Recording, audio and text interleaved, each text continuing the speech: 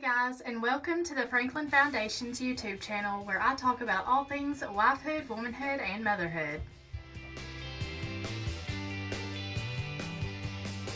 Hi, my name is Katie Franklin if you are new, and welcome to my channel. Today I'm going to be doing a faith-based video for you guys and chatting about a topic that's not very popular today, but it is about wives submitting to your husbands. This is biblical. If you've opened the word, if you've looked at it, whether you like this concept or not, it is in there. Ephesians 5:22 says, "Wives, submit yourselves unto your own husbands as unto the Lord."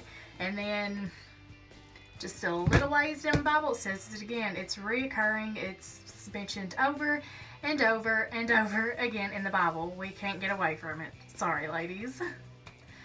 But when I say submit, the way God formed this in marriage, He did not mean it to be like bondage or slavery, which a lot of people have came to think this is what submission is. It is not, I promise. If you do it in God's way and your husband is a godly man, he will honor you and it will be just a perfect marriage. But why God has this set up in this certain way as the man as the head and the woman as not is because women are the weaker vessel and you can find this in first wait yes first peter 3 7 it mentions that. And so we just do not have the capacity to lead. We are a creature that is ruled by emotions and i believe this to be true because i'm a woman. I know how i am. My husband has a lot more control than i do in certain times and also, a marriage is such a holy thing. A marriage between a man and a woman is meant to be the small scale model of Christ and the church. And what I mean when I say that is the man is supposed to be like Jesus Christ, and the wife is supposed to be like the church. So the man will honor his wife as Christ honors the church, and the woman will submit and serve the man and love the man as us as a church do Christ. And in doing this, we just show the world the gospel in such a beautiful, beautiful way. Now, in today's feminist era we are living in, women do not like the idea of this. But the rewards of living in submission to your husband are so amazing. For one, you have God's favor because that's how He made it all work out. And I'm just saying, if you're, for the women that are in the role that their husband is not a saved man and you're sitting there thinking there is no way that I can submit to this man because he is not after God's heart. Well, there's a promise for you right in God's word about that as well and it's in 1 Peter 3 and it starts with 1 which is the most important part.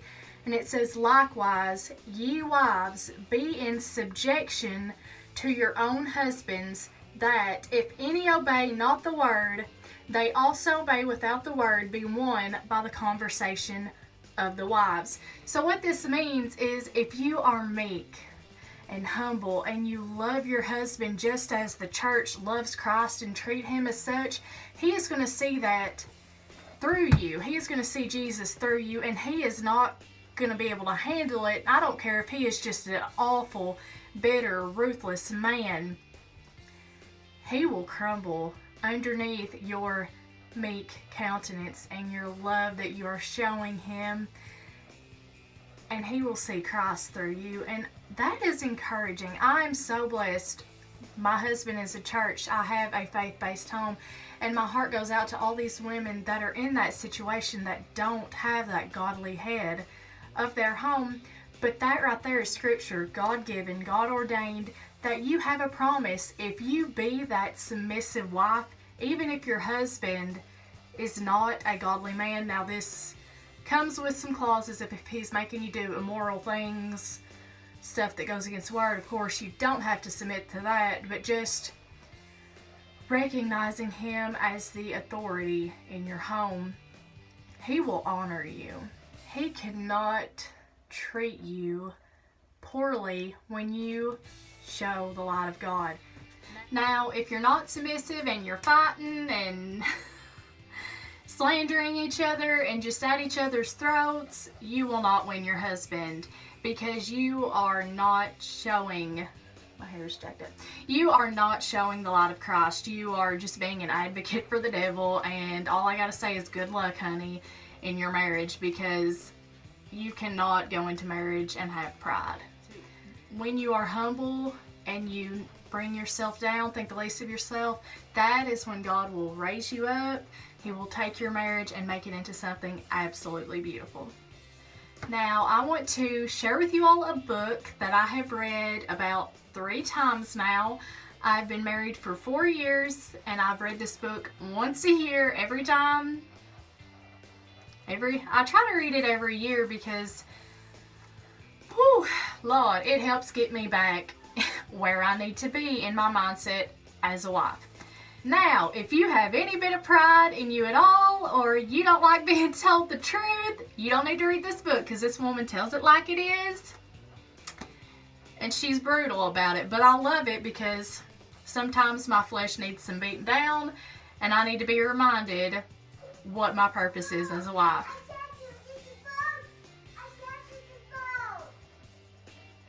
Right.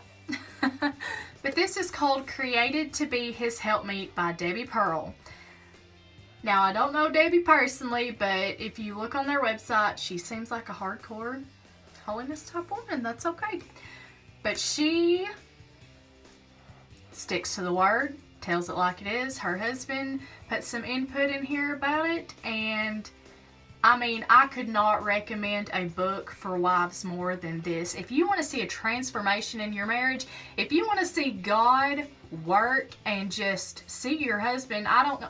If you're a bitter woman and your husband is always like, God, I wish you'd stop nagging, this and that. If you're having any kinds of trouble in your marriage, read this. Get yourself knocked down a few slots on the pedestal abound in humility, and watch God work. I mean, this. You need to read this book. If you are married, if you are engaged, I don't, if you're not even thinking about getting married right now, but you know you will plan to in the future, and you want God's uh, hand blessing on your marriage, you need to read this as a woman. Even if your husband's the worst man on earth, follow this. Watch God work. I promise. It's There's a men's book as well created to need a helpmeet. My husband has got it and he has read it. Before he ever read that, if I just took one thing out of this book and I just started doing it, didn't say nothing, I noticed a change in him instantly. It was so much easier for him to love me. He just made me feel so cherished and I was like, this is so simple. If we could just serve each other as a husband and wife are supposed to, loving each other just comes so naturally. but I hope you all have got some encouragement from this today. My heart is just to encourage wives. I know I'm a young wife. I do not know all things by any means, but this book is highly recommended for me. And I just would love to hear a testimony from one of you guys after you put this to work down in the comments and just let me know how God's transformed your marriage. Give this video a big thumbs up if you liked this biblical type content. Comment down below if you'd like to see more of it or if you just want to chat with me. I always try to reply to your comments. Subscribe if you haven't already and I will see you all at my next one. Bye!